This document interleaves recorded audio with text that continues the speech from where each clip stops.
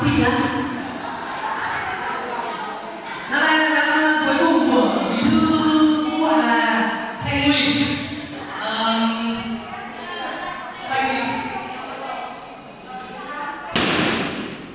ủy viên ban chấp hành thành ủy nguyễn thị đảo đây là năm cuối của thế yêu cầu mọi người chúng ta tất cả lên chung một điều gọi là kỷ niệm